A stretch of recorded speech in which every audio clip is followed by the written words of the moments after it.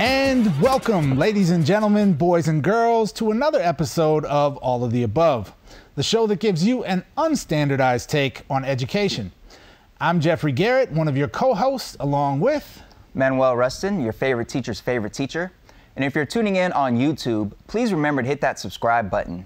And if you're listening to the podcast version of this episode, do know that you are missing out on my fancy black tie, mm. which was a gift from my wife for the first day of school several years ago. And um, it's special and all that, and you're missing it. But thank you for tuning in. Now, we are excited to have you back, and we've got another great episode for you today. We've got a special guest contributor for today's show and tell, which is an exciting new addition to the show. And for today's seminar, we'll be joined by some dynamic experts to explore issues around school safety and preventing violence in schools. In a world where folks are talking about arming teachers and hiring more police and hardening facilities, what's the best way to ensure our schools are safe? But first, we dive into some headlines in education in today's warm up. According to a new study published in the Journal of the American Medical Association, the suicide rate among young black children aged 5 to 12 years old is roughly double the rate of white children in that same age group. This comes despite the fact that during the teenage years, the suicide rate among black youth is about 50% lower than it is among white youth. Suicide is most certainly a major public health problem in the United States, and it's the second leading cause of death among American teens. The authors of the study, Drs. Jeffrey Bridge, Lisa Horowitz, and Cynthia Fontanella, write that their findings, quote, provide further evidence of a significant age related racial disparity in childhood suicide.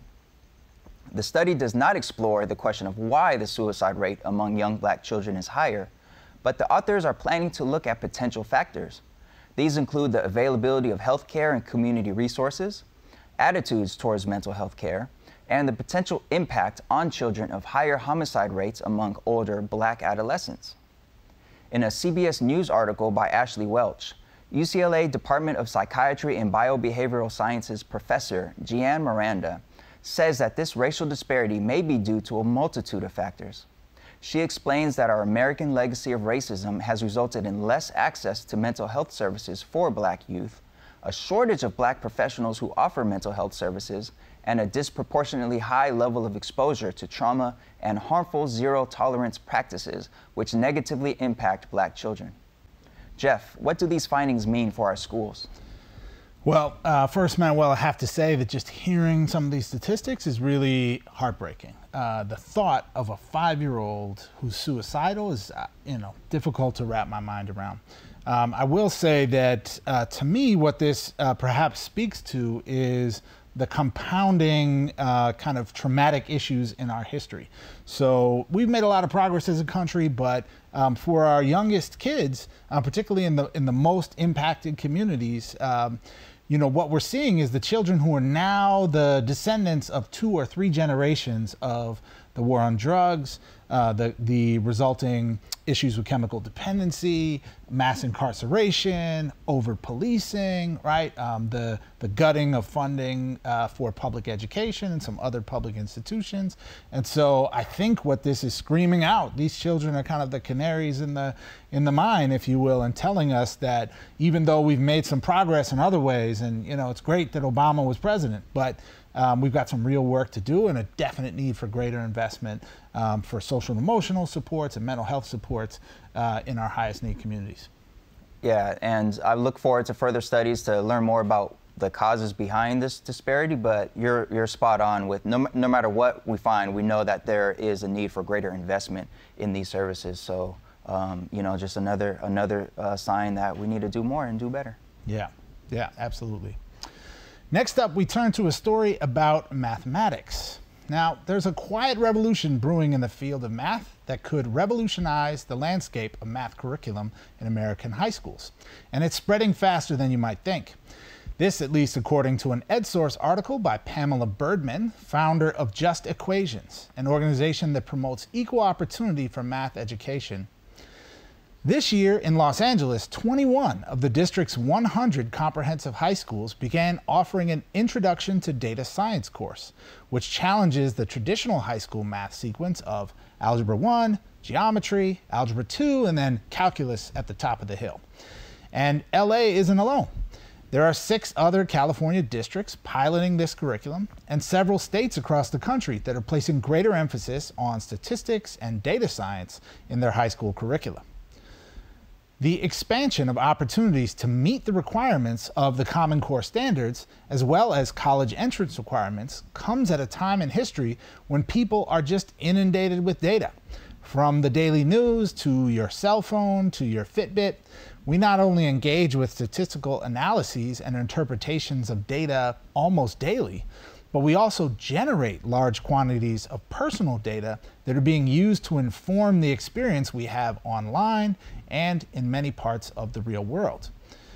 The greater emphasis on data science and statistics seeks to empower young people to find new pathways to develop quantitative literacy that have perhaps a better answer to the age old question math teachers hear from students and parents alike, which goes something like, But why do we have to learn this? I'm never going to use this in real life. Am I?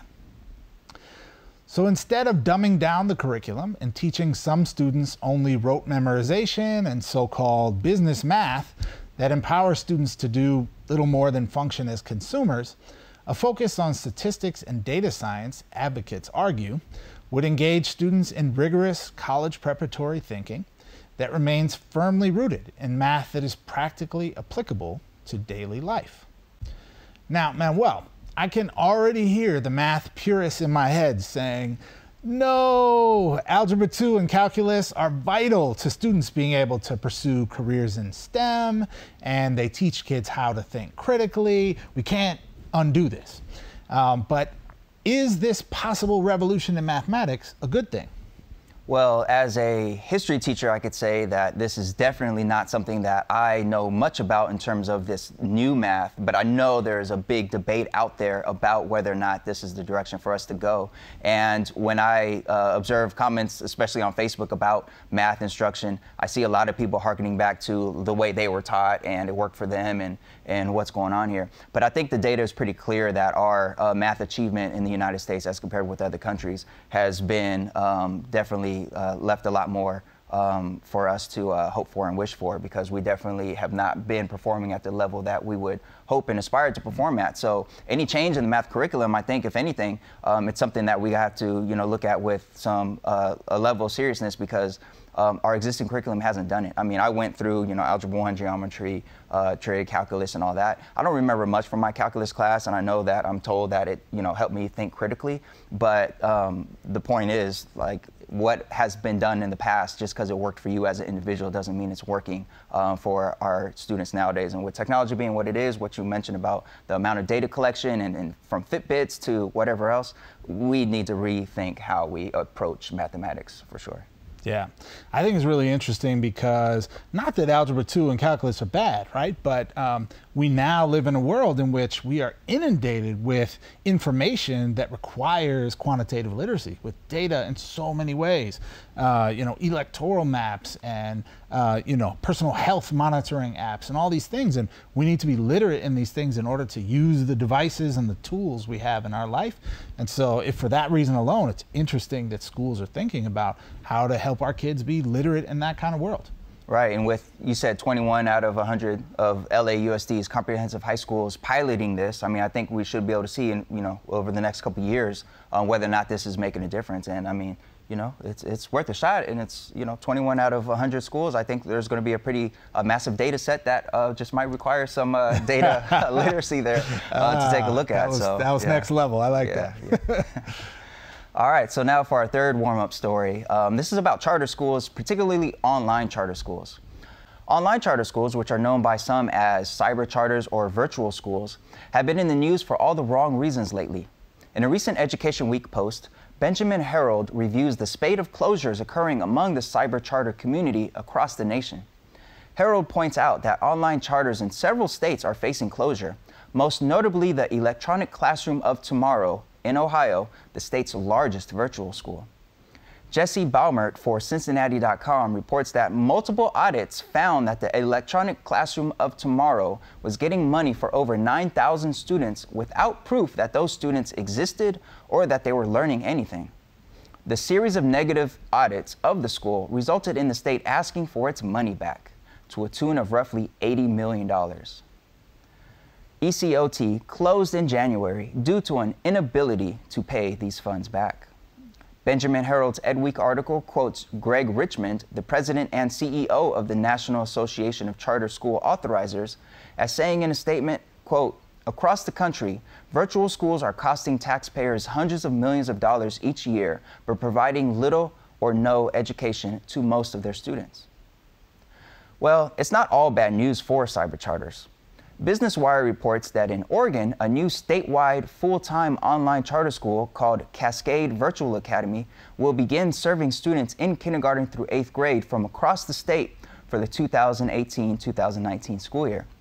So, Jeff, where is all this heading? Well, I think uh, the answer is a little bit complex because, uh, on the one hand, the type of stories that you just uh, were revealing shows a major issue uh, in our field, which is that um, accountability, particularly for online charters, is is not very well developed. And um, at least what I see and hear is reporting that shows that uh, there's sort of little information out there until there's a big scandal that's revealed, right? right. And there's 9,000 kids that no one can find. Um, but there are some good online charter schools that I am familiar with and know mm-hmm. people who work in that that are providing a valuable service, particularly um, in rural areas where there uh, maybe aren't large comprehensive schools that can offer a very diverse curricula, um, particularly when students might be suffering with um, intense medical needs and be homebound, but still need to, uh, you know, engage in school and being in an online environment still provides at least some aspect of the kind of social component of school. Uh, so there's, you know, it doesn't mean we need to throw the baby out with the bathwater, uh, but I think certainly the need for greater oversight, the need for real scrutiny around online operators is something that uh, seems self-evident from these kinds of stories. Yeah, and you know, I think your um, favorite Secretary of Education of all time, um, Betsy all DeVos, um, definitely is a supporter of the charter movement of school choice. So these virtual um, online schools, I don't think are in any uh, significant danger in the uh, broad scheme of things. And I agree that a lot of these schools, and I know teachers who um, have worked for um, online online schools, um, a lot of them are offering great work and great help for students, in particular uh, students who can't access um, local schools for one reason or another. One of the highest achieving students that I ever had uh, most of his secondary education came from an online charter school mm. before he uh, came to the school where I work at. And, you know, that online charter school really helped him out and really helped him stay on track with other students. Um, so there are definitely great examples out there. And, you know, negative headlines, I think, are um, something that are troubling for whether it's charter schools or traditional public schools. You know, these negative headlines get out there and reinforce people's uh, perceptions of schooling. But, you know, it's not all bad. And I think it's important for us to continued to speak towards trying to make sure that they are held accountable and that no one is making up fraudulent students or fake yeah. students that don't go or, there. Or 9,000 of them? 9,000 of them at that. Um, so obviously accountability is something that we got to uh, continue to work on. Yeah, yeah, absolutely. All right, so that's it for today's warm up. And next up is a special show and tell segment with a very important special guest.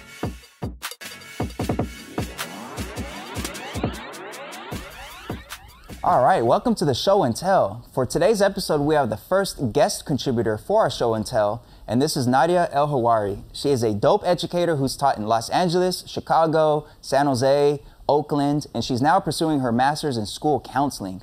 Nadia, welcome to the show. What did you bring to show us today? For today's show and tell, I brought in my third grade portfolio from 2001. Just this week, I found my portfolio that I created, and it was based on the narrative that Christopher Columbus was a good man who kissed the ground when he arrived to shore, where everyone woke up and began cheering, and the redskin people came to the shore with excitement. This represents the dominant narrative, but more specifically, the white man's narrative that perpetrates white supremacy within our schools and history books. This is the content that I am constantly and actively unlearning as a 26 year old woman. This is the white supremacy and dominant narrative I was fed and I am constantly having to unlearn to ensure I am not further perpetrating this within my work both as a teacher and as a counselor. I am continuously challenging this narrative. When we think about white supremacy, we think of the most overt instances, such as the KKK and the alt right. However, the term white supremacy also, also refers to dominant culture of whiteness, continuously being maintained through interactions, norms, language, and the curriculum within our education system. While recently listening to J. Cole's newest album, KOD, I noticed his song Brackets, summarizing perfectly what I had been reflecting on. But my people barely graduate, they ain't got the tools. Maybe because the tax dollars that I make sure I send got spent hiring some teachers that don't look like them. And the curriculum be tricking them the dollars I send got us learning about the heroes with the whitest of skin. One thing about the men that's controlling the pen that write history, they always seem to white out their sins. Cole was speaking the truth around how white supremacy is maintained in the education system, how teachers rarely look like us, and students are taught myths.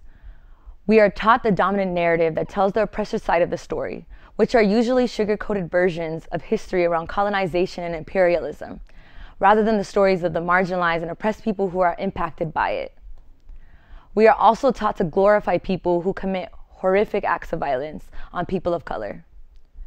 J. Cole talks about how our taxes are spent on hiring teachers who don't look like them, meaning white teachers who don't look like the majority black and brown children who they teach in urban schools, where white women make up over 80% of teachers. Representation is important, and hiring and recruiting more teachers of color is essential. However, while I acknowledge how powerful it is for young people to see me in the classroom as a brown woman, the bigger issue needs to be addressed, which is that teachers of color can uphold white supremacist ideals and mindsets that are harmful to young people. Through my experience teaching and training new teachers, I have observed how teachers of color have been conditioned to think challenging whiteness is too radical and too revolutionary. While teaching recently as a long term sub for US history class in Oakland, California, which is considered very progressive when it comes to education, I recognize the sugar coated history I was expected to teach our young people. Even the new history books that are considered progressive are still problematic, and they don't serve the interests of marginalized people. This experience made me reflect on my own educational journey and how white supremacy was so embedded within the curriculum through my academic journey. Instead of staying quiet about it, I would bring the issue of whitewashing history to the forefront. When bringing up how whiteness dominated the material I was teaching, I was met with resistance.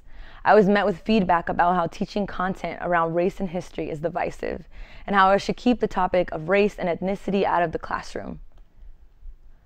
I continue to push for students to think critically about the book and the content that we are expected to know and learn. I created opportunities for dialogue where students were engaged and excited and they were they were critical of what they were reading rather than absorbing everything and memorizing it without questioning it. Whiteness is such a taboo topic that even while gathering my thoughts to bring in for this show, I had to question is my topic even appropriate to even speak about, or is it too risky? People are so concerned with white fragility that they often try to gloss over how detrimental the effects of whitewash curriculum is on young people. While teaching history to an eighth grade class this year, there was a piece in the content that stated Slavery brought out the worst of human nature. Slave owners might have been kind men, but slavery made them become cruel. I was expected to teach this to a class of brown kids. Instead, I made an entire lesson around breaking this line down. I talked to students about how one line attempts to humanize people who have enslaved, killed, and raped people who look like me and the young people I serve. Yet again, our ancestors' truths are left out of the curriculum. This is a perfect example of the oppressors writing the dominant narrative that is depicted within the history books, and we can't allow this to continue to happen. One way to combat this would be to first make whiteness a less taboo topic, allow teachers to speak about whiteness, encourage dialogue with race with students. It is 2018. Let's be real. Race, ethnicity, gender, ability, sexuality, class, and intersectionalities as a whole must be discussed for the sake of our current diversity in this country and fostering true understanding of ourselves and our history in America. This also means engaging students in understanding the dominant narratives and using that not only to flip the script, but also write counter narratives to combat those dominant narratives. Administration and other staff must actively support teachers in breaking down curriculum and actively changing it rather than just viewing teachers as passive actors in teaching curriculum. If we continue to stay quiet and not challenge white supremacy in schools, we will continue to see the creation of portfolios like this. And that's my show and tell for today. Wow, Nadia, uh, just an incredibly powerful uh, framing of an issue that uh, that I think you really added some depth to that we have touched on in a few previous episodes. Um, and uh, I think what you really helped surface is a few very very important ideas. One, that uh, the issues around confronting whiteness in the classroom aren't just about diversity in the teaching profession, although that is important, but that even teachers of color can mm-hmm. either consciously grapple with, like, is this a topic that I can bring up? What's safe for me to bring up? Um, will I be ostracized in some way if I do?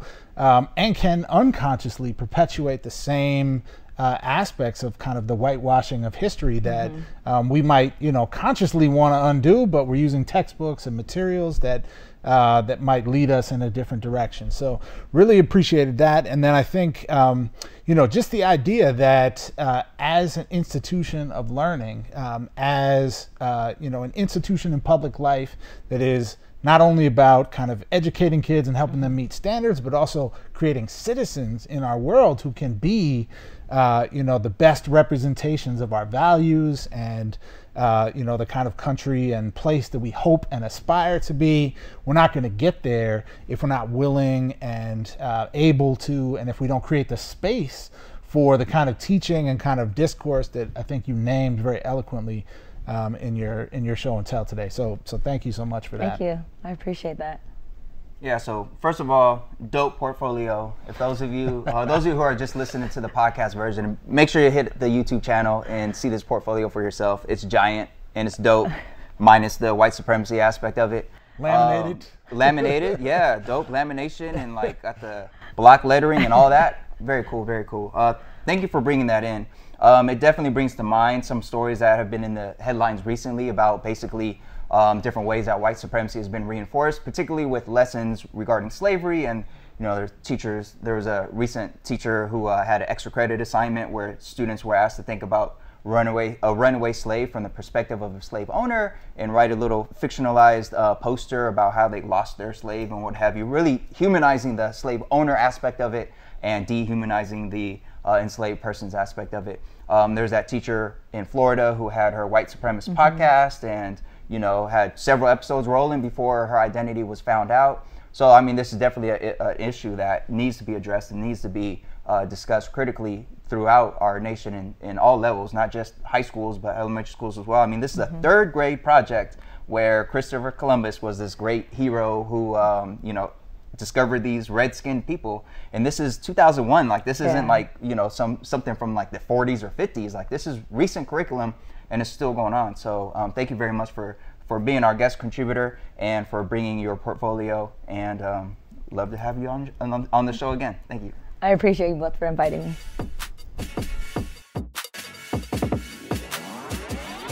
We've all been gripped by the headlines and gut wrenching images of shootings at American schools. From Columbine and Newtown to Virginia Tech, Parkland, and so many more in between, there's been a growing and disturbing trend of incidents of mass violence at American schools. Since the year 2000, there have been over 190 school shootings at schools and universities. The exact number is difficult to pin down since the federal government does not collect official statistics or study this issue. In those events, more than 200 students have been killed and more than 200 others have been wounded. This puts the United States far atop the troubling list of nations that have had incidents of mass violence on school grounds. And while those numbers are sobering, the ripple effect of these incidents may be more widespread than it seems. The Washington Post estimates that since the year 2000, over 187,000 students have directly experienced incidents of mass violence in American schools, the traumatic toll of which will be felt for decades to come. Students and teachers now attend school in a context where lockdown drills are commonplace and where many students wonder not if an incident might happen at their school, but when. In the current political climate, thanks largely to the organized efforts of the students from Marjory Stoneman Douglas High School in Parkland, Florida, pressure and scrutiny on politicians to act is at an all time high. But despite this broad attention, there is little agreement about what the solution is. The wide range of ideas being debated across the nation includes large scale gun control measures, boosting the number of armed security personnel at schools, investing in our mental health services, arming teachers, strengthening anti bullying campaigns, expanding restorative justice practices, and hardening school facilities through measures like installing bulletproof glass, using metal detectors, installing doors that lock from the inside, and even installing countermeasures to stun and limit the mobility of an active shooter on campus. Now, American schools are performing by most measures. Graduation and college acceptance rates, for example, these are at all time historic highs. And there are many excellent schools across the country providing fantastic learning environments for students. Nonetheless, we are faced with this undeniable crisis. Shootings and mass violence at American schools happen far more frequently than anywhere else on earth and with deadlier consequences.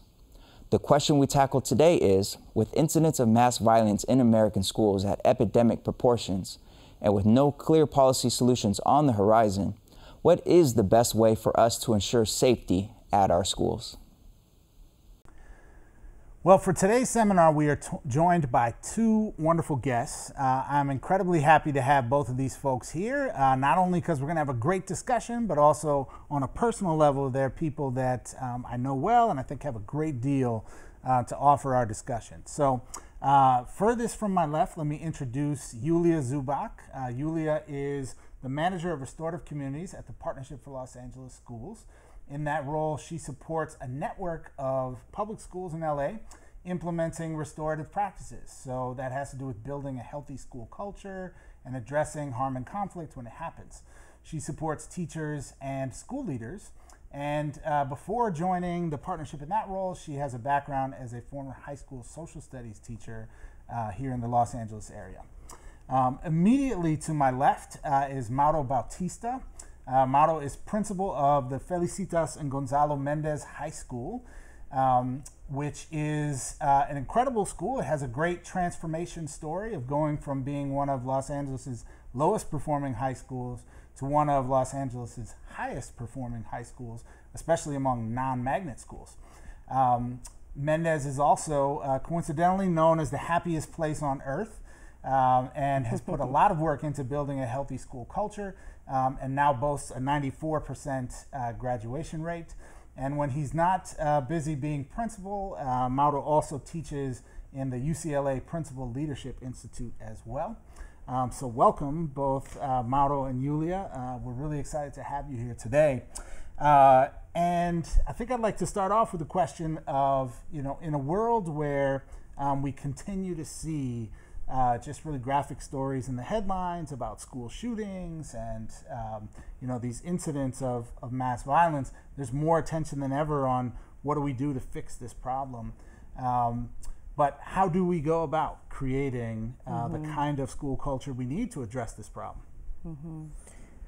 Well, I think um, certainly there's a lot of dialogue right now nationally about what to do, and there's people that argue that we should actually harden the schools.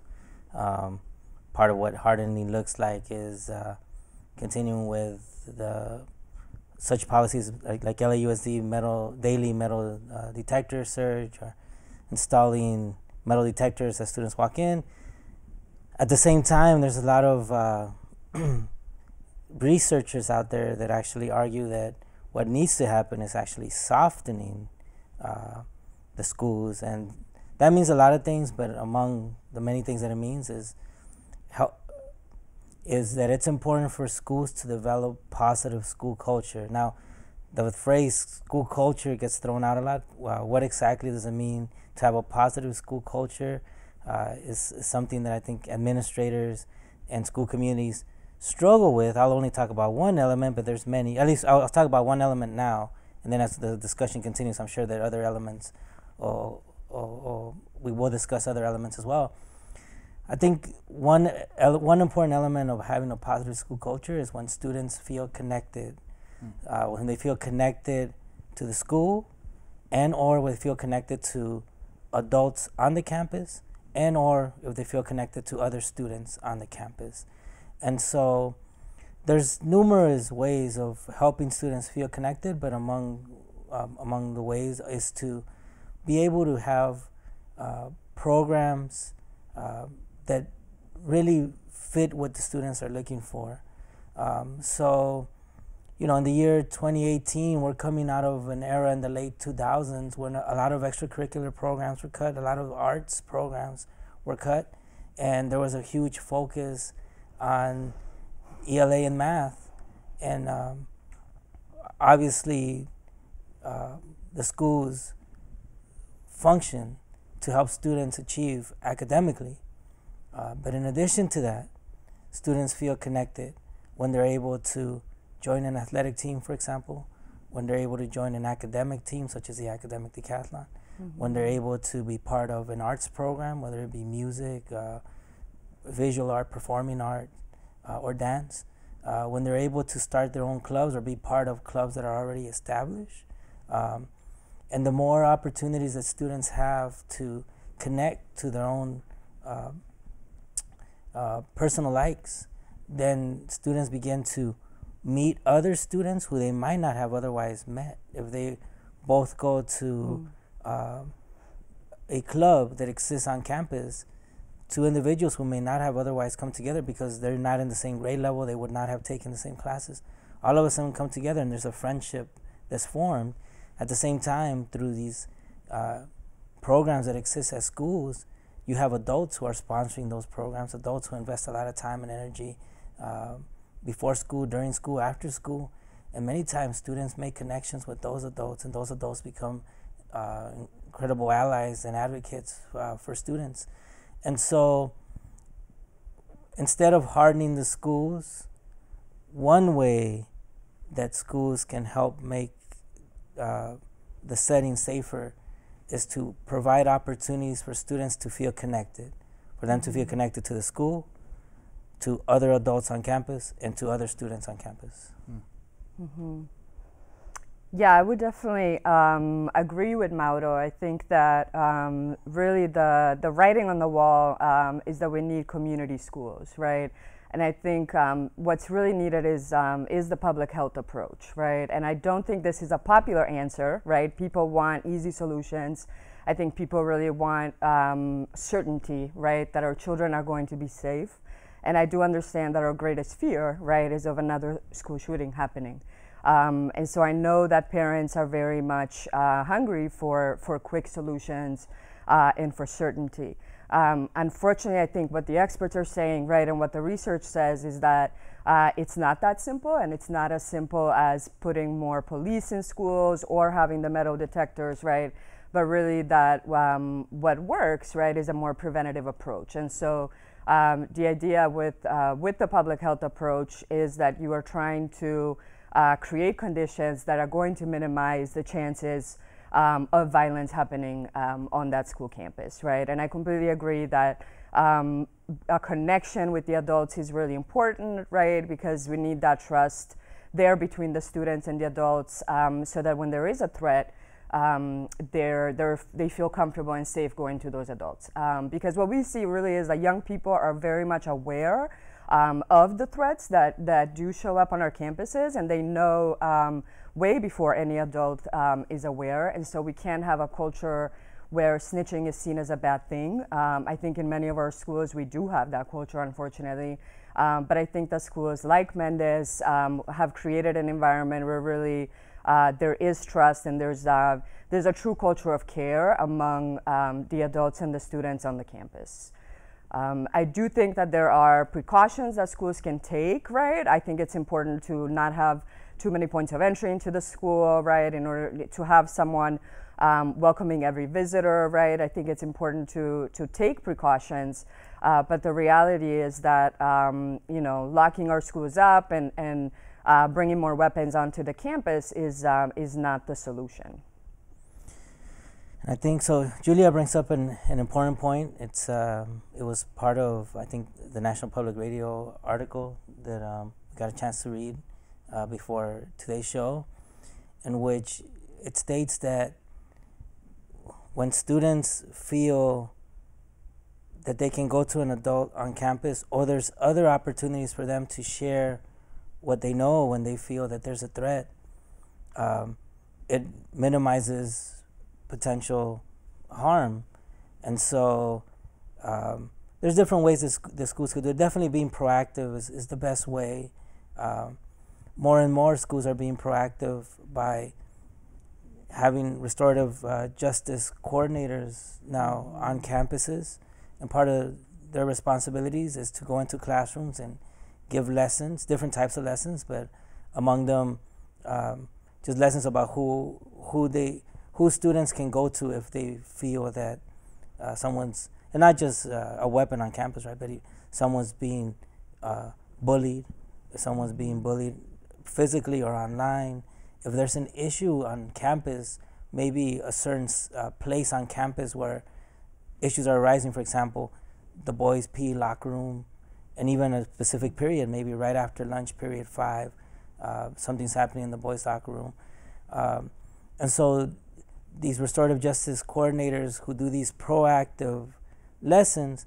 In addition, also, I think um, schools try to do their best to create this environment where if you tell an adult it isn't seen as snitching, but mm-hmm. among uh, young adolescents, that could be a, a, great pressure where even if they want to go to an adult, if someone else finds out, they might feel like, oh, they're going to consider me a snitch or they're going to, um, you know, lose trust or lose respect for me. And so uh, different schools have started anonymous uh, phone tip lines where students can text uh, what they are seeing or what they're feeling, even online anonymous uh, opportunities for them to share uh, what's going on.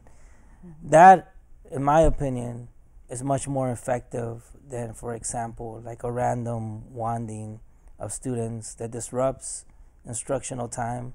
And, you know, in, in LAUSD, where the great majority of students are brown and black, it criminalizes brown and black youth. I mean, this uh, policy that LAUSD has doesn't exist in other school districts. Mm-hmm. So then, to that point, um, you mentioned that the public wants quick fixes. Um, there were so many school shootings just this past year that grabbed so many headlines that members of the public who aren't educators they want something that they could point to that helps them feel better about their own child safety.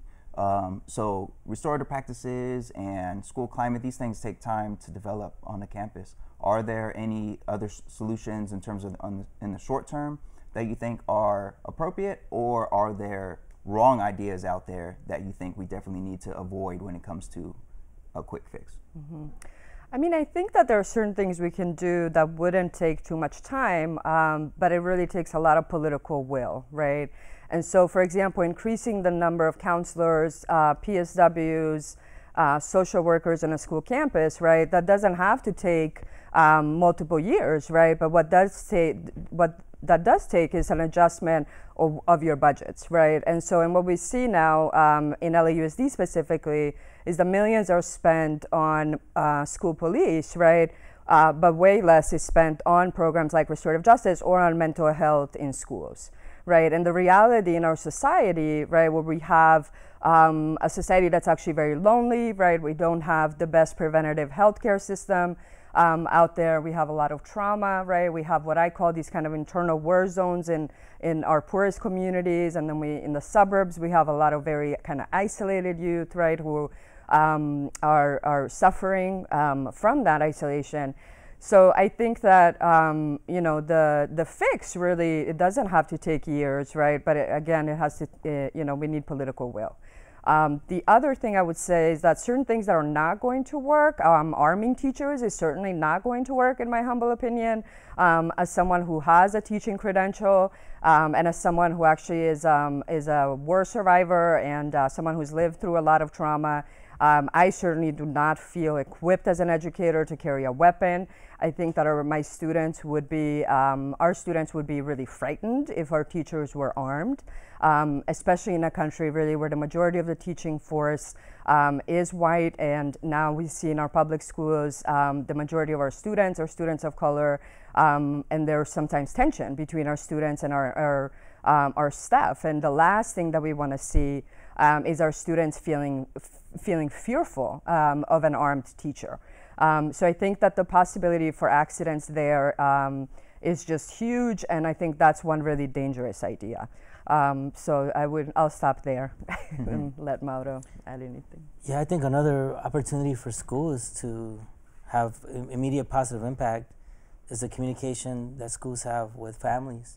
So families, for instance, currently uh, school shootings is, is, at the forefront of parents who are sending their child to elementary, middle, or high school. Um, and another component of school safety that is constantly on a parent's mind at all levels is also bullying, right? Whether it be physical bullying or cyberbullying. And schools can be very proactive about how they communicate with families, which will also help a ton because families have questions about okay, what is the school doing to ensure that my daughter's son is safe and that they're not going to get uh, attacked by a weapon, right? Whether it be a gun or a knife or anything else. They're also asking questions about okay, if my son or daughter is being bullied, then what is the school doing? So schools can be proactive in addressing those questions instead of waiting until something happens and then having to react. So the different ways that schools can do it, of course, is throughout the school year. There's numerous um, parent meetings for various topics, but throughout the school year, uh, schools can constantly remind families what the school is doing to ensure that their son or daughter is safe. And I think it addresses a, a lot of concerns, especially if in a meeting, uh, a family may bring up uh, a very general comment that could possibly rile up other parents, such as, you know, I was I was here the other day and there was no one at the front door and anyone can come in, mm-hmm. and that happens all the time. Schools in these meetings can address that and say, well, actually, we have a policy where there's always uh, someone at the front door. If you happen to pass by and there was nobody there, it's certainly an isolated incident, but then with the parents are there, you could remind the parents. For example, when you guys came in yesterday, when you guys came in this morning, last week, you normally have to sign in, and there's there's usually somebody there. In terms of um, bullying or cyberbullying, um, the more information parents have, the better. So, for example, go to people in case they feel their son or daughter is being bullied. Uh, direct line, you can share direct lines, so instead of having to go through the automated phone lines that could take a while and just fluster people, just say, "Look, here's your counselor, here's your child's counselor, here's the direct line. You know, please give them a call, direct line to the office." Mm-hmm. So, family and community engagement is, uh, I think, for many schools I think many schools acknowledge that a strong family and community engagement program is key for many things, not just school safety, for academic achievement as well, of course. Uh, but the work that it takes to create a strong family and community engagement program is, uh, is, is very difficult. And so a lot of times it's given lip service. But when done right, a strong family and community relation, a, a strong family and community engagement program mm-hmm. can help with school safety. Mm-hmm. I think a lot of really powerful statements you guys uh, shared there that, that, as an educator, resonate with me. And uh, it's making me think that um, in so much of the discussions we're having nationally about this issue, I think some of the solutions that are proposed, like let's arm all the teachers, um, seem as an educator and as a more, maybe more progressive minded educator to be so crazy and so um, just obviously absurd that it's almost a little bit hard to to explain why it's crazy. Um, it just feels like uh, wrong in my gut, right? Um, but I think it's interesting to think about the um, the incentives that are at work for policymakers, right? Because we maybe as educators can know and relate to the idea that um, you know uh, investing in counseling and building great relationships with families and mm-hmm. doing these preventative things that are kind of slow moving um, might be a better long-term solution but um, elected officials respond to you know phone calls and constituents who are saying i don't want my, my kid to get shot tomorrow and they need to show evidence that we're doing something so that your kid doesn't get shot at school Um, and I think it's it's maybe hard to explain in that context the the slower moving things that you just described. So, um, how do you um, how do you think we can make the case for what we should be doing that that will work um, in a world where politicians need to show, hey, we took a vote, we did, you know, we did these things, and we're keeping your kids safe. Mm-hmm. I mean, I would say I think one thing we need to share with the public maybe is um, is some of the data out there, right, about school safety. And I'm most familiar with LAUSD's data, and I know that, for example, the policy that Mauro mentioned, right, the mandatory daily random searches um, for weapons, for example, um, that policy, the data shows, is simply not effective, right? And so what we've seen uh, throughout many years of using this policy is that no guns were uncovered, right? But during that same time, guns were actually uncovered using other means, right? And other like more kind of traditional means of really, um, you know, looking for suspicious behavior, really paying attention, right, to um, to the children um, as well as the adults, right, on that campus. Um, and so I think that data can help us um, to really explain to parents that um, certain things simply don't seem to work. For example, one thing that I've heard uh, that you would think would be useful, right, is actually like having some drills for shootings, right, for um, to prepare, right, for an active shooter. And I know that some schools have done that, but what I've been reading is that actually the effect of those is counterproductive. What ends up happening is that the kids are traumatized. They're constantly talking about when, when and when, it's, when and where it's going to happen, um, and so they're um, they're actually hurting the kids more than they're helping them, right? Um, so I think that that's the unfortunate thing, right? Is that we have to be honest with ourselves um, and really, really share with the public that there aren't any easy solutions, right? But that we all have to be um, much more uh, proactive and investing in our schools. Uh, we have ratios of, you know, counselor to kid that are just astronomical, um, or counselor to, uh, excuse me, child uh, to psychologist. Um, I think one psychologist is supposed to, you know, take care of over 700 students, right? And like these things are just not realistic. Like that's those are the things that need to change first and foremost. And then of course we need to support, um, you know, sensible gun reform, uh, which I do think educators have a really important role to play in. Um, and what we see um, is that schools that are doing um, this work effectively, they're also doing really um, helpful kind of threat assessments, right? And, and being proactive if they do hear of a student who has a particular fascination with weapons, right? Or if there is some incident of cyberbullying where there's a threat that's made, right? They actually make sure that they follow up on that information uh, and that they're talking to the appropriate authorities um, and um, you know and, and taking steps to, to make sure that that, that child does not harm um, their classmates. Yeah, so to piggyback off of Julija's point that there is good data out there, uh, especially in LAUSD, LAUSD about six years ago started implementing um, a school experience survey for students, for staff, and also for families. Um, for the students, among the numerous questions that they asked is, you know, do you feel safe at school? Um, how often do you see bullying going on? Now, this data is really good because over 90% of students get surveyed. Uh, at Mendez, for example, we've had above 90. We've had a couple years we've had 100% student participation. So you're taking uh, the responses of a thousand students, 1,100 students, and not just a small uh, group.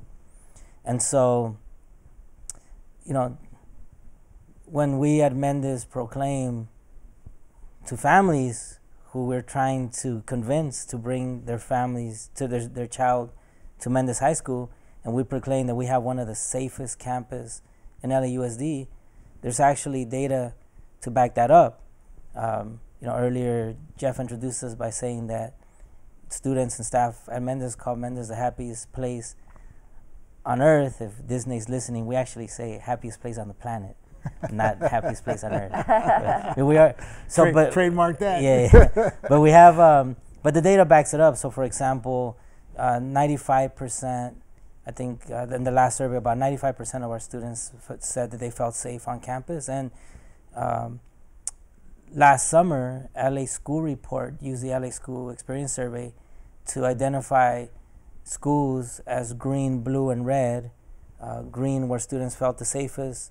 The next level was blue, and then red, where students feel felt the le- least safe.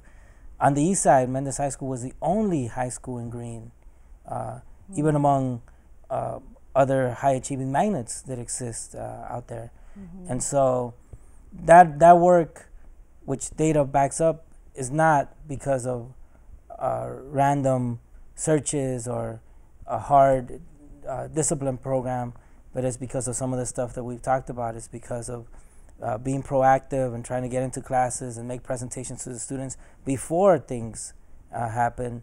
Uh, developing a co- uh, school culture where students feel connected and making sure that we have strong communication with with our families among different topics, but definitely about what's going on in school. This is what's happening at school on a daily basis to make sure that your son or daughter feels safe on campus.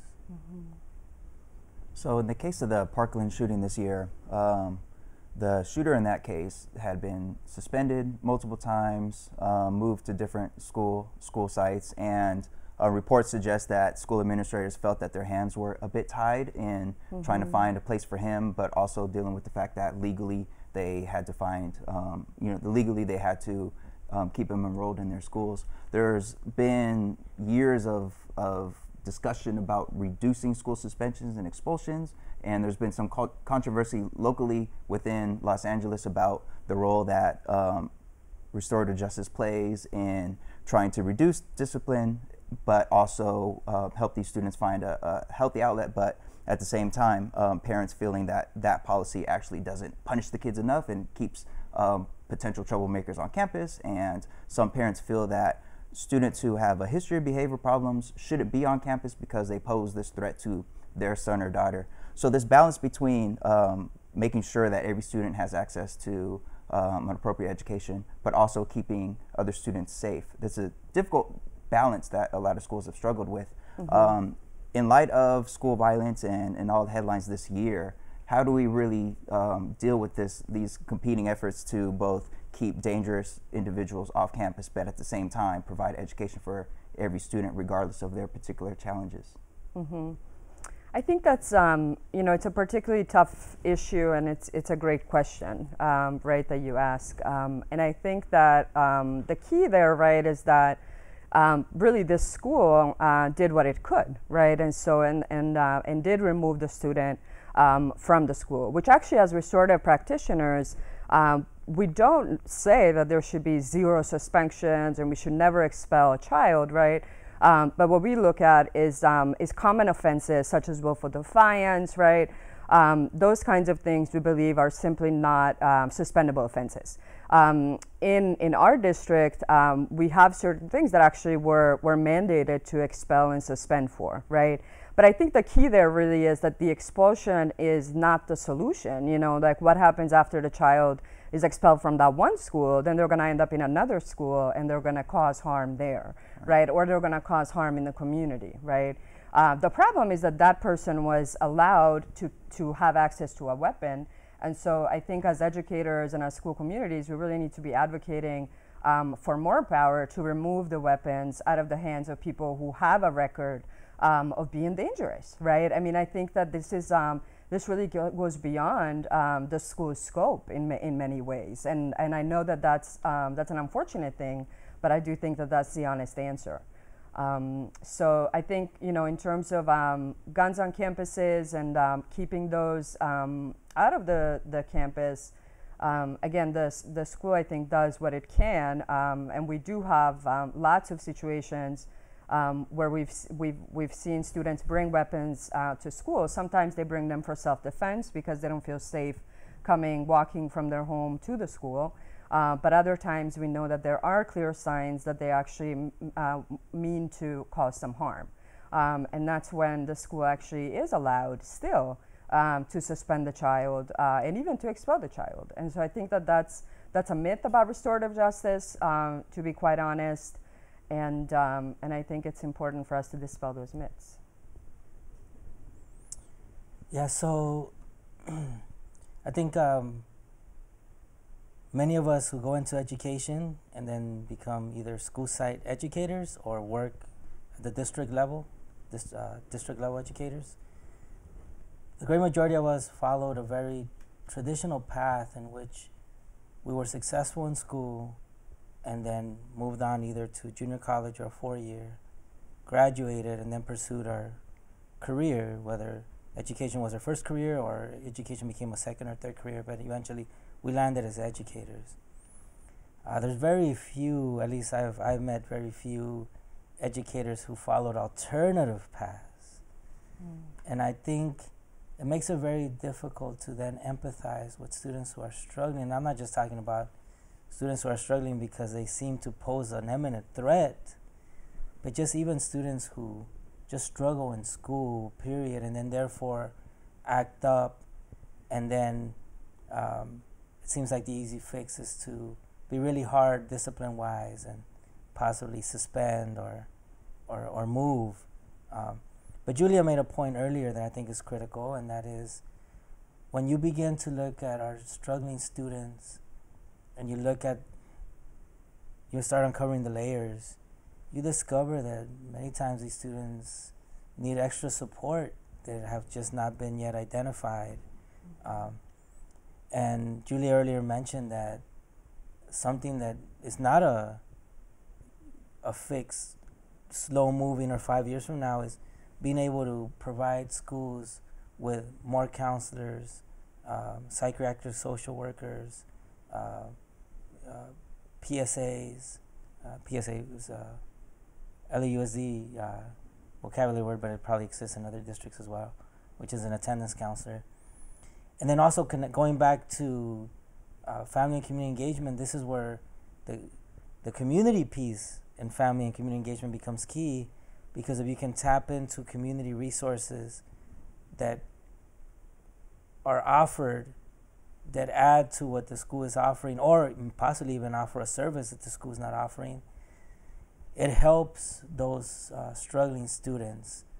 And so i think the more that we try to understand why a child is getting five fails in 1C or why a child is acting up in the class and a behavior problem and being able to support that student as best we can, I think that's more beneficial to the student and the school community as a whole instead of trying to quickly discipline or suspend. Now, when students do seem to pose an imminent danger, as Julija mentioned, um, and as the articles mentioned too, uh, recently there's been an emphasis on threat assessments where you bring a whole team together um, and that's where the school can work with uh, the local district. The local district, at least uh, for Mendez, has been very helpful when we have had to make threat assessments. We've gotten support from the local districts, and um, I've been able to, I think, make some uh, proper decisions in terms of what, what are the next steps with those particular students. But also to a point that Julija made, when we have discovered weapons on campus at Mendez High School, um, it has it has been because students have the ones that have informed us. Um, they have let a teacher know, they have sent us an anonymous tip, or uh, they let some other staff member know, whether it be a campus aide or, or a community rep, they let, they let them know because students too, they, they understand that uh, if, if someone was, brings a weapon to campus, it's just bad news all around. And mm-hmm. they do so, you know, not, not necessarily get the, the student in trouble, but just to make sure that everybody's safe and then it's our responsibility to make sure that we we address the needs of these students who are struggling academically, struggling behaviorally, or who pose an imminent danger to the school. Mm-hmm. Yeah, I, am so glad you said that. Um, I think uh, I want to ask you this this last question to um, to get your thinking on. I'll give you a second to to think while I share a little a little tiny story. Um, you know, so much of what I think we hear about uh, this issue is, um, you know, we need to harden facilities. We need to do all these things to and around the kids and teachers in order to solve this problem. When, as a principal, uh, you know, the best and most effective deterrent to incidents of violence in school, 95 or more percent of the time, in my experience, was other students or um, maybe staff members who live in the community or parents coming in and saying, hey, heads up, there's this issue happening. you need to go talk to so and so, or um, you know, someone brought something to school that we're concerned about. Um, and that that was how we prevented almost all of the incidents that um, either were definitely going to become a violent incident or could have happened and then escalated into uh, a potentially violent incident, either at the school site or you know at dismissal time or across the street in the in the projects or those sorts of things. Mm-hmm. And so, um, if there was one thing that I wish that folks in the public or policymakers could know, it's that you know our best solution to this might actually just be like talking to the kids, you know, mm-hmm. um, which sounds kind of so too simple to be true. But um, you know, I, I, think we we maybe dismiss the power of that um, when we're talking about policy. So, I'm wondering from your perspective, if there was one thing that you could tell policymakers or parents or the media, tell those who who um, maybe don't work in schools every day, um, you know, this is something we could do uh, that would really help. What what might that be for you? Hmm. I have something in mind, and I, I think the one thing that I would um, want folks to know out there, whether they be parents or educators or administrators or policymakers, really, um, is that uh, we have to recognize as a society, and this is really the key philosophy um, that restorative justice stems from, we have to recognize that those who are intent on causing harm or who have caused harm need healing as well, right? So, not just the victims are going to need healing, but those who are at risk of causing harm, really, we need to focus first and foremost on their healing. Um, and that's, that's something that is not easy, but I think that the stigma around mental health, uh, which does still unfortunately exist in many communities, um, that is one way that we need to really begin to listen to the warning signs that we see in children, right? Uh, we need to not hide them and not be embarrassed by them, right? And we need to really seek help. Uh, and the school um, can really become, and in the more successful schools, right, become centers of the community where not only students but also parents um, feel safe coming to the school and asking for support, right? If they have a child who is um, you know, showing some signs of, um, of distress. And we know that the people who hurt others have a lot of um, hurt inside of them, um, and that that is usually the, um, the cause, right, of, of them wanting to harm others. Um, we know that a lot of the children who have committed these shootings were bullied themselves, were isolated. Isolation is something that I think we really need to work on in our schools. Um, some schools are doing really creative things, making sure that they do all kinds of wonderful things like No One Eats Alone campaigns, anti bullying campaigns, right? Um, to really make sure that we're addressing um, the, the needs of children, the social and emotional needs of children, um, which I think also um, can support, you know, not only um, a safe culture and a safe campus, but also their academic achievement. Being part of LAUSD, my, my message would be to uh, LAUSD policymakers. Um, number one, I would ask you to get rid of the daily random wanding. It doesn't work. And in, in place of that, uh, at Mendez High School the last two years, we've tested something that this year we're going to go full out once, once a day, which is a, a random survey where we go into a classroom. Mm. The survey takes about five minutes, and students are asked questions such as um, is, is, there a, is there a particular place on campus where you feel unsafe? If yes, where? Uh, if yes, when usually? Uh, do you do you feel bullied at school? If yes, where? If yes, when? And then it, it gives the students an opportunity to just make random comments or or comments. That we feel is much more helpful because if students do feel a threat, it's anonymous, and I think students will speak up and say yes. But then you also learn other stuff, which the district also wants to prevent. So students may, for example, tell us in the comment section, yeah, the restroom in the T building runs out of toilet paper early in the morning and no one ever puts any more, which is an important component of being of feeling good in school. Yeah. Or they might say, hey, just a heads up, this particular student and this particular adult are meeting every day during lunch, it's the two of them, which is important to know uh, as well. And it's it's done where students don't have to be afraid of snitching because it's anonymous. Instead of pulling four students out of a classroom and um, making them feel like they've done something wrong when they haven't done anything wrong, uh, invading their the private space. Another, and instead of that, what you have, uh, the, the teacher will know ahead of time that you're coming in to do this survey, which is online. It's on a it's on a computer. Is that all 35, all 30, all 37 students participate, and they have an opportunity to share their thoughts and concerns in regards to school safety on campus and anything else that they want to share as well. I think that would be a much more powerful policy than the one that's currently happening in LAUSD. Mm-hmm. All right. Well, uh, first of all, I just want to uh, thank both of our guests today, uh, Julija Zubac and uh, Mauro Bautista. Uh, I think there's so much wisdom and experience in what you've shared today, and um, really perspective that, that I think has not been at the forefront of our national discourse. So, uh, thank you so much for, uh, for giving your time and joining us today. And uh, for our audience, if you'd like to hear a little bit more from Julija and Mauro, um, check out our episode extras, which will be available on our website, aotashow.com. Um, we'll have some additional conversation with both of these guests. You'll learn a little more about them and the great work they're doing uh, here in the Los Angeles area. So, again, that's the website, aotashow.com.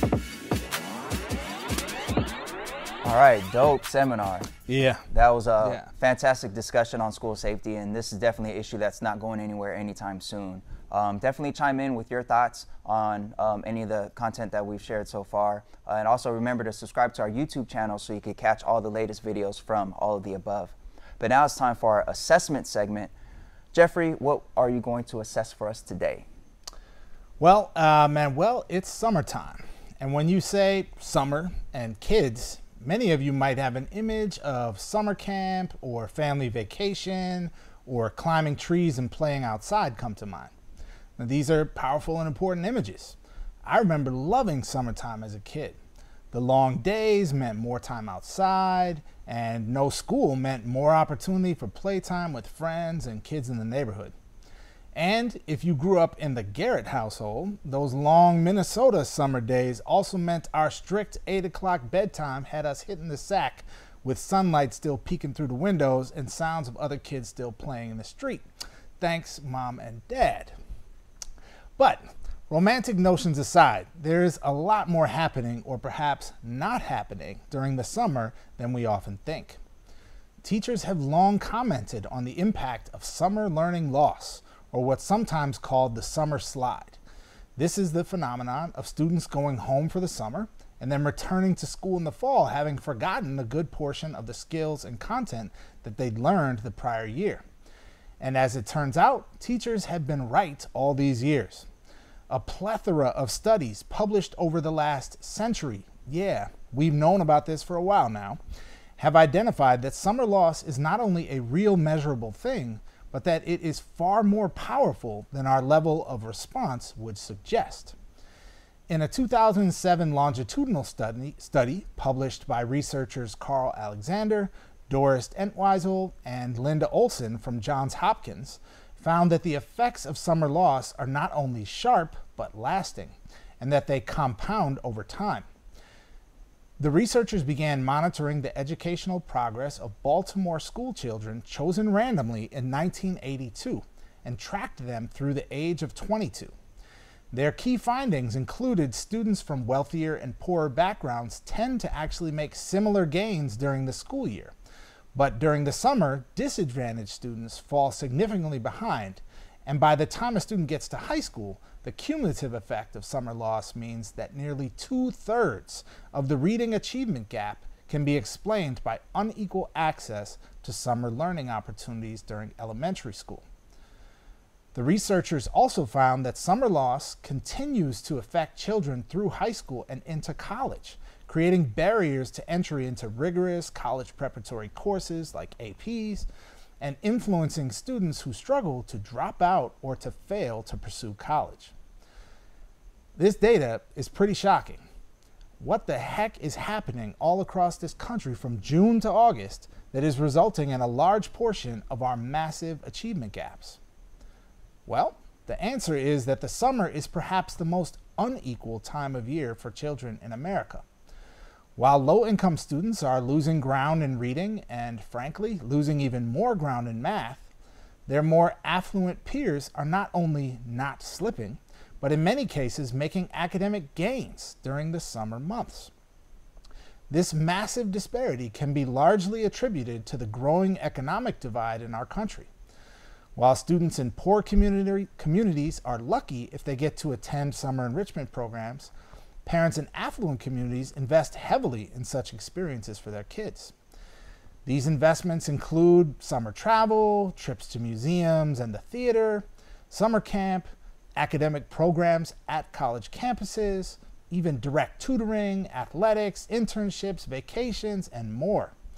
And at the same time, we know from extensive research that low income students are not only not getting nearly the level of exposure to these experiences that their wealthier peers get, but they're grappling with a toxic soup of challenges in its place. Food insecurity and hunger, weight gain, that's right, studies have shown that our kids get more obese during the summer and troublesome exposure to neighborhood violence and the policing that follows are just a few of these ingredients in the toxic soup.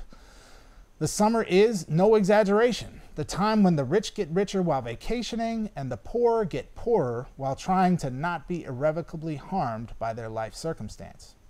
Unless you think this is a small issue, about half of the kids in public schools in our nation come from low income families.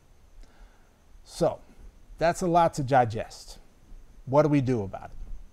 Thankfully, there is no shortage of ideas out there about how to tackle this difficult problem. First, some states, districts, and charter school organizations have taken the approach that the solution is to lengthen the school day and school year. This is a logical approach that essentially says if kids need more time in school to avoid falling behind or to get caught up, then we need to provide more time in school. Eight hour school days, lengthened school years, and even modified year round school calendars are just some of the ideas that have been put into place. And in many cases, these ideas bear fruit. Now, critics would say that this is a strategy that actually punishes low income students with endless drill and kill style schooling that can even be counterproductive. And there's some reason to fear that for sure. But if done well and kids aren't just pounded with reading and math, this could be an important part of the solution. Second, we can boost funding for after school and summer programming in low income schools and communities. States and the federal government have tried this, though the efforts have fallen far short of providing equal opportunity for low income students. But hey, if we want schools to fix poverty, then let's fund them and the community programs that support our schools like they're literally the front lines of a war on poverty. Unfortunately, as luck would have it, Donald, Betsy, and Republicans in DC are actively attempting to cut funding to federal programs like the 21st Century Community Learning Centers program, which funds just the kinds of programs low income communities desperately need. Yeah, let that sink in for a minute. Third, there is a strong call for a public health campaign to combat summer loss. Families are doing their best to support their kids, and they may not be aware of the extent of this particular issue. And while backpacking in France may not be affordable for everyone, there are local institutions in many communities which families could access and use to combat summer loss. Visits to the library, discussions about learning at home with adults, giving kids puzzles to solve and projects to manage, and even work experiences that require reading or writing or problem solving can help kids retain and strengthen their skills over the summer months. So, we're not short on solutions, but right now we do seem to be short on the will to act. So, if you're feeling motivated knowing that there's this problem and we have the resources to fix it, but we're just not, then start by sharing this video. Call your elected officials, ask about enrichment programming available in your area, and let them know that this is an issue that matters to you. Support organizations that are doing this important work right in your community. The National Summer Learning Association has a website with lots of resources on it, and there's always your local YMCA or Boys and Girls Club and dozens of other agencies doing great summer programming for kids that you can join or donate to or support in other ways. And frankly, even better yet, get involved with a young person in your life and help them find meaningful summer enrichment and after school programming. Sometimes the solutions to these big, complex problems that may feel overwhelming are actually a bit closer to our fingertips than we might think. Wow, Jeff. Um, first of all, I feel like you're trying to take away my summer, my summer break, my summer vacation. um, man, honestly, that your um, assessment there just reminds me of just how many different ways that um, the economic divide in this country contributes to the achievement gap and how many different ways that students from low income backgrounds are set at a disadvantage. Of all the ways that um, growing up in a low income household um, sets you up for extra challenges that higher income students um, don't have, summer loss, I think, is one of the last ones to be thought of. I mean, it's not one that comes to mind when I think about it. Um, you know, but the research is clear, as you said. Um, this is contributing to a huge gap. I remember my first year teaching, I had um, two students in particular that I gave information for this um, summer camp at uh, Ivy League University, and um, it was a great opportunity. And both these students were like perfect for the, for this particular camp. And um, I remember one telling me like, as much as she would love to go, there's no way she could afford it. And just as a first year teacher, that was one of the first times that I, you know, myself really thought about like damn, man, there's great opportunities out there that are being missed by students who simply can't afford it. And while they languish in their you know bedroom or, or front yards for the summer, um, there are students whose families can afford it, and those students are going out there and getting these awesome experiences, coming back in the fall like really ready to go. And you know, it's just uh, another tragic reminder that um, the economic challenges facing um, a lot of our communities are having these impacts that are above and beyond being able to tell somebody like, oh, just work harder, you'll be all right, like grit, just like get yourself through it. Like no, there's all these different ways that growing up in a low income uh, household sets you back, and you know, summer loss is just one of the many. And I hope Yeah. you know, I hope people uh, share this story and and uh, visit those resources that you mentioned to see how they can contribute, at least in their own communities, to help make sure that um, students have something productive to do to contribute to their learning and combat this summer loss. Yeah. I, you know, doing the research for this piece, it really struck me that, that schools can't do it alone. Um, and so, you know, maybe we can lengthen the school year and those sorts of things, but, uh, you know, we need other wraparound services uh, to support great programming and enrichment opportunities for kids that aren't just more school, but are fun, interesting, engaging things, the arts, athletics. We need these opportunities to stimulate and help these young, brilliant minds continue to grow and develop, uh, you know, even outside of the school day and the school year. Um, it can be done. We just, we have to invest in it. Yeah.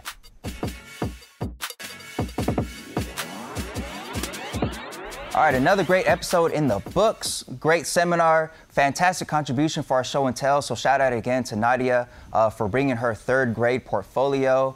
And lastly, we want to hit you with a real quick shout out. We love to shout out the students of March for Our Lives, many of whom are survivors of the Parkland shooting, and they are currently spending this summer on a 60 day, 20 state, 75 stop summer bus tour to register young people to vote. While the internet and cable news is full of folks who are willing to give their two cents about school safety and gun legislation, here are some young folks going out there and actually doing something about it. Nothing makes us teachers more proud of students than when they go out into the world and take an active role in shaping the future of our great nation. So, shout out to March for Our Lives and their Road to Change summer activism. Mm, yes, absolutely. Co-sign completely on that. Uh, folks, make sure you check out our website uh, for all of our content. That's AOTAShow.com. Again, AOTAShow.com. We'll see you next time.